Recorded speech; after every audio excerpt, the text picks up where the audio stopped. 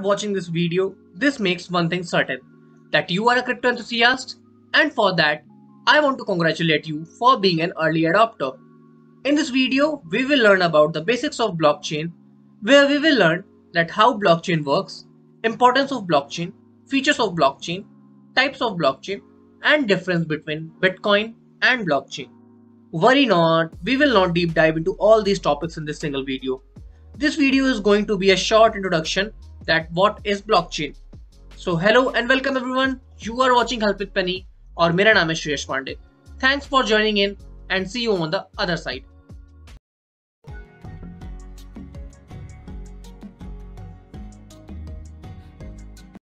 Let's start with the introduction. What is blockchain? Blockchain is a database that means it is used to store data and as the name implies the data that is stored on the blockchain network is stored in chunks called as blocks. So if you are a crypto enthusiast, then you might have heard this term blockchain for quite a number of times. As we all know that blockchain technology is the revolutionary technology that is behind cryptocurrencies. So it is very important for us to understand that what kind of database is blockchain.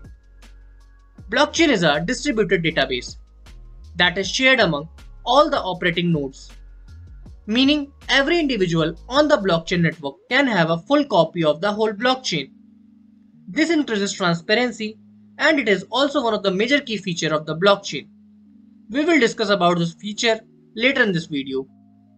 But for now, you might be thinking that what is the difference between a traditional database and a blockchain database. So, one major key difference between a typical database and a blockchain database is how the data is structured inside these databases.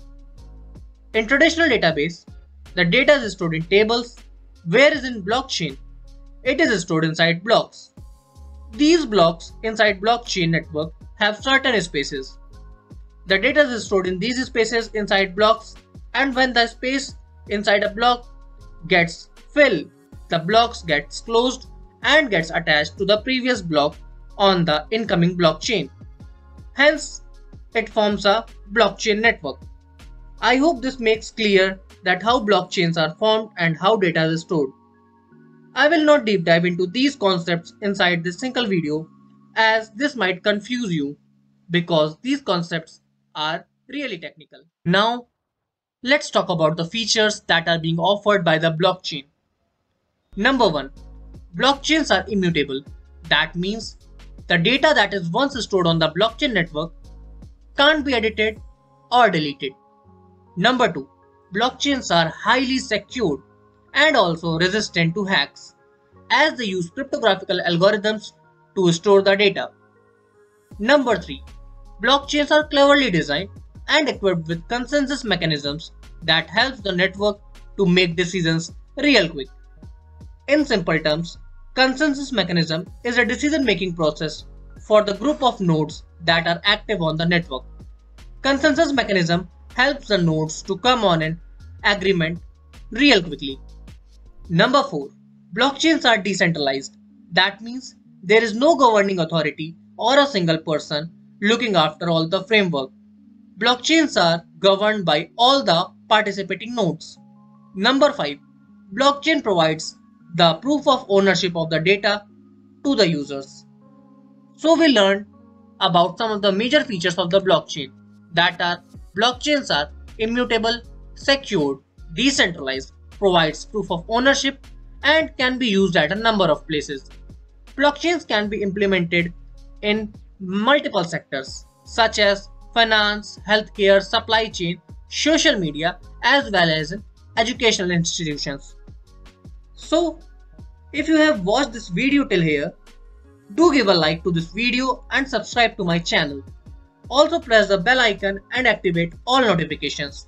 Your one like motivates me a lot to keep creating good content. Now let's move towards the last part of this video. Now, coming to the types of blockchain. Blockchains are of two types. First, public blockchain. Public blockchains are those blockchains where anyone can create a full node and can become a network validator. On public blockchains, there is no requirement to ask for permission from anyone. That means any node can join or leave the network anytime without asking for permission from anyone. Second, private blockchains.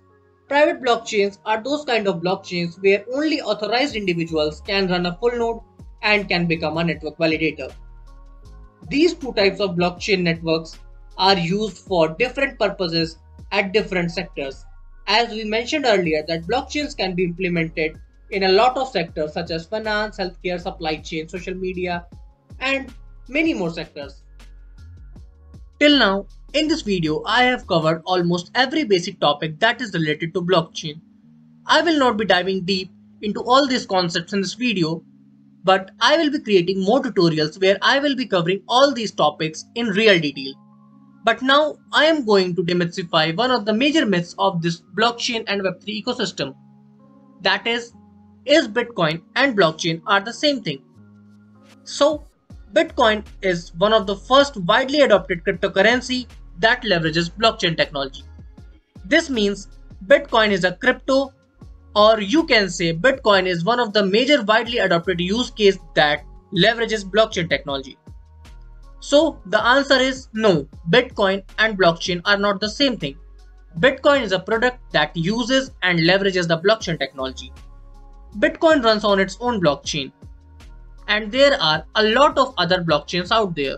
So I will not be covering this concept in this video because it is really technical and it requires its own video.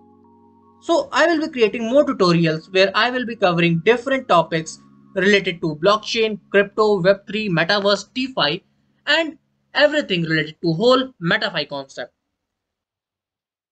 So before we end this video, I want to recommend you my favorite crypto trading app. So guys, I use CoinDCX app for buying and selling cryptocurrencies. It is India's largest crypto trading app that is trusted by over 1 crore plus Indians. It has over 100 plus crypto pairs listed and the deposit and withdrawals are really smooth. You can buy crypto on CoinDCX app with INR, USDT, BTC and more. It also provides services such as lending and staking so don't forget to check out the CoinDCX app. The link is in my description. So with this, I end this video and I hope to see you in the next video. Till then, keep learning, keep educating.